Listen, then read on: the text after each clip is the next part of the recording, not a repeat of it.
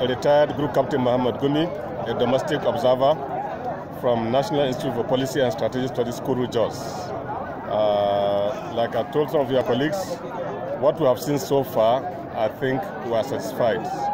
Uh, from all the places we have seen, they have observed the basic rules that they are supposed to have observed. And we hope and pray that it will continue like this and end up like this. God bless us. God bless Nigeria.